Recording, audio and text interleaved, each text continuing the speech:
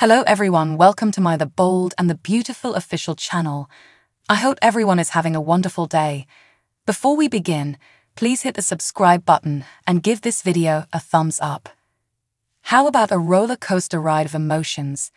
Just like the attendees of Eric's goodbye party, I made a vow not to cry when viewing this week's old and beautiful episodes. However, as soon as the event started, I showed myself to be far weaker than the Logans and Forresters who had assembled at the family home. This week's best moment was more about the response it generated than it was about anything that happened on screen. My closest buddy Zende, who was having an argument with Ridge and RJ, brought up Eric winning the fashion show as we were watching Monday's program. My best friend and I yelled, Don't tell him, together.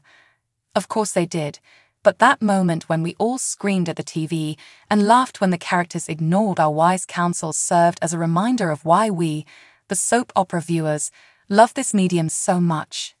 It also, in an odd manner, showed a few other aspects of soap operas, similar to why seeing them with others is more enjoyable.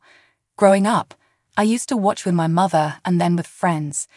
Since the majority of us don't share those common real world experiences, Twitter may be our preferred social media platform. And no, as long as I live and it's still around, it will always be Twitter and never X. Married Miss. Eric ought to have declared that he and Donna were getting married if he truly intended to allay suspicions about his Insta party. Considering how frequently quickie weddings occur on this program, nobody would be suspicious of one at the family estate. Heck, as you can see below, it wouldn't even be the first time that specific duo took that path. Even if you knew the truth, you could still play all the beats of the people present. One may rationalize tears away as happy emotions. Additionally, it would be kind to Donna, who Eric has promised to look after. I kind of liked how the Forrester estate took on a life of its own throughout Eric's description of the incident. That gorgeous, large ancient mansion, he thought to himself, so many amazing things have occurred. My entire existence celebrations, holidays, and weddings. The house where Brooke and Ridge first met. Additional information all we know about the impending Yellowstone spin off.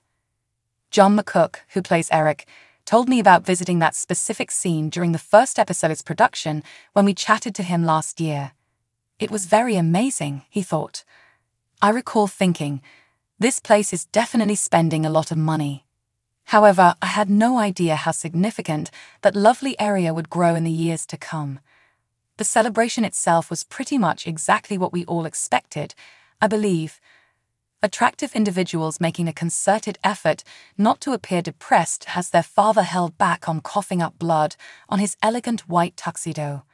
To be honest, considering his main symptom, shouldn't Donna have recommended a color other than white?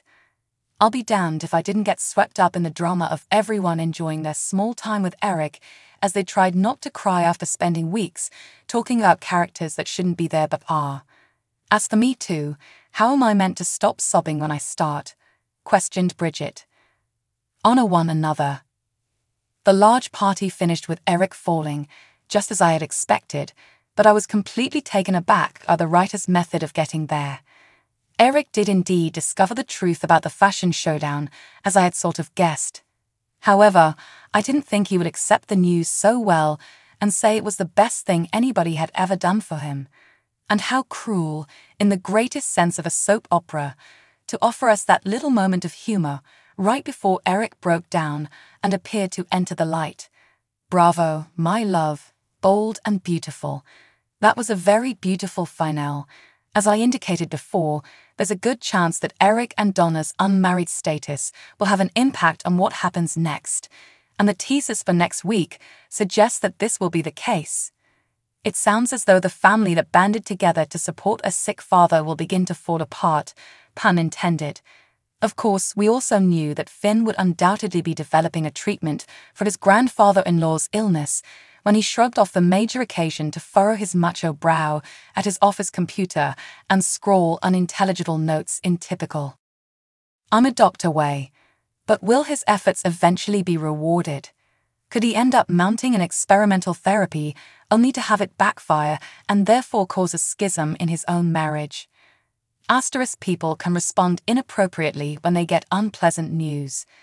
I thus believed, despite how horrible it sounded, that Zende's initial response upon learning of Eric's approaching death was to assert that Ridge was just saying that to justify RJ coming to work with him. Speaking of Zende, didn't he take a big chance when he asked the attendees, We all know the truth about grandfather, right? Prior to the party. What if there was someone present who was unaware? Um, um. Ah, asterisk Katie looked even more stunning at Eric's huge party than she did when she dressed for their big fashion battle with Ridge and his father. Although Hope was wearing a gown that Eric had created, wouldn't it have been amazing if Eric had made a point for every woman in attendance to wear dresses that he had created throughout the years? Asterisk whoa, the party really had wait staff wandering around serving drinks and canapes. Somebody recalled how wealthy the Forresters are. According to teasers for The Bold and the Beautiful, Steffy Forrester wants to know Luna Nozawa even more. Although Luna and RJ Forrester's meal at the Cliff home went well, Luna and Steffy will have more chances to become close. Steffy is thrilled with Luna's willingness to provide a hand with Eric Forrester's legacy collection. Of course, a big part of it is that Luna and RJ are so in love with one another. When it comes to winning Steffy over, Luna has a lot going for her because John Finn Finnegan also likes his adopted cousin. There may be a reason why the program appears to be putting a lot of effort into helping Luna and Steffy develop a strong relationship. Although Luna is unaware of her biological father, the program has hinted that Bill Spencer and Poppy Nozawa may have had a previous relationship. That may make Bill a viable contender for biological fatherhood, contingent on the resolution of this father mystery. In any event, it's simple to see Luna confiding in Steffy concerning her circumstances. Undoubtedly, Luna is being affected by the close knit community of Forresters and is beginning to worry about her unidentified biological father.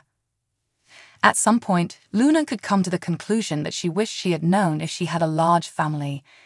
That would prompt Luna to probe Poppy about her father but Poppy might try to stop Luna from talking. Luna looking into this would worry Steffy as Finn's real mother was revealed to be the insane Sheila Carter, Kimberlin Brown. When you start looking into the past on soap operas, you never know who may emerge from the shadows, which would compel Steffy to become engaged and make an effort to keep Luna safe. Luna may find that Steffy is the ideal candidate to help her piece together her biodad. Steffy is aware of Bill's past and the frequency with which his long lost children appear in BNP stories, after all. Since it has already occurred with Liam Spencer and Wyatt Spencer, Darin Brooks, Steffy wouldn't find it absurd to believe that Luna is the next victim. When Steffy learns that Bill is starting to feel a connection with Poppy, she could realize that Luna may actually be her father through a DNA test, it may pave the way for Steffy to make the connections and eventually assist Luna in doing the same.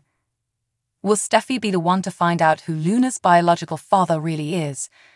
Will Steffy solve the enigma surrounding Bill and Poppy's history?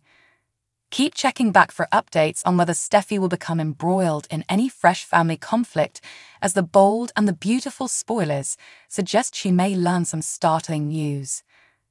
Thanks for watching if you like this video, so please don't forget to subscribe my channel and don't miss any update.